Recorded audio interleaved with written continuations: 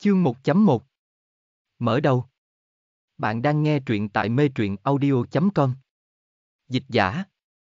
Leon cơ đao tàu lắc lư di chuyển xuyên qua cánh rừng rác côn, âm thanh rầm rập của bánh xe bị át đi bởi một tiếng sấm vang rền giữa bầu trời chập tối. Bill Nieberg đang lục lọi hồ sơ về vụ Hardy, chiếc cặp đựng tài liệu của gã nằm sát dưới chân.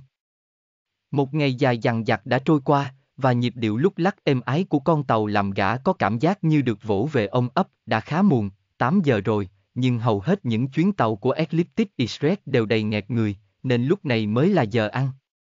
Đây là loại tàu phục vụ cho giới doanh nhân, và kể từ lúc được nâng cấp, Umbrella đã chi bộn tiền để trang hoàng nó theo kiểu cổ điển, từ những chỗ ngồi bọc nhung đến những chút đèn treo trong toa ăn, nhiều nhân viên đã dẫn theo người thân hoặc bạn bè để cùng thưởng lãm không khí ở đây. Thông thường cũng có một số người ở thị trấn đi cùng để đón chuyến tàu rời La Tham, nhưng ni bớt cá là 9 phần 10 trong số đó cũng làm việc cho Umbrella. Không có sự hỗ trợ của tập đoàn dược phẩm khổng lồ này, thành phố Rác Côn còn lâu mới trở thành một đô thị sầm uất, một người phục vụ toa đi ngang, gật đầu chào ni bớt khi thấy chiếc kim gút Umbrella mà gã đang đeo trên ve áo. Chiếc kim gút này là dấu hiệu của một hành khách thường trực, ni bớt gật đầu đáp lễ. Một tia chớp lóe lên bên ngoài, nối tiếp bởi tiếng sấm vang rền, xem ra lại có một cơn bão mùa thu nữa đây. Bất chấp những tiện nghi xa hoa trong toa tàu, không khí vẫn đầy vẻ ngột ngạt bức bối của cơn mưa sắp ập tới áo khoác của mình, ở trong vali thì phải quá hay. Toa của gã ở tích đầu bên kia.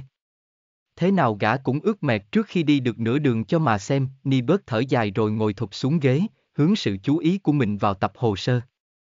Gã đã duyệt qua tài liệu vài lần rồi, nhưng vẫn muốn coi lại để nắm cho thật vững.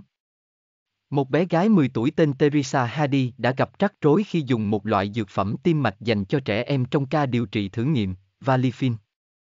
Chất thuốc đã hoạt động theo đúng chức năng nhưng lại có hiệu ứng phụ lên thận, và trong trường hợp của Teresa Hadi, đã gây nên tổn thương nghiêm trọng.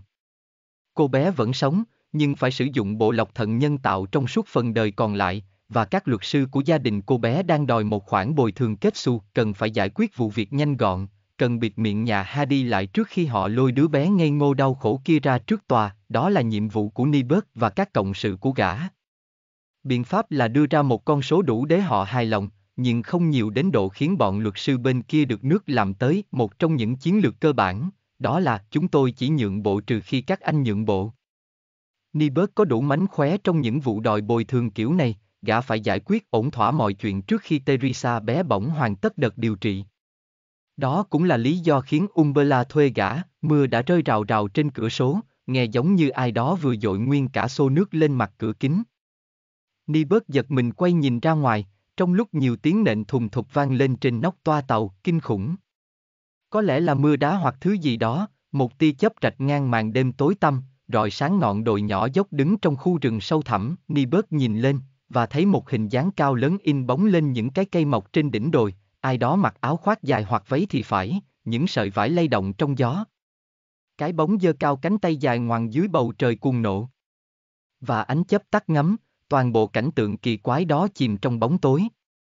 Cái gì, Nibert vừa thốt lên thì lại thấy nước tiếp tục lõm bõm rơi trên mặt kính, có điều không phải nước, nước đâu có dính thành từng cụm đen lớn như vậy, nước không thể rỉ ra rồi tách thành nhiều mảng, để lộ những cái răng lởm chởm sáng loáng.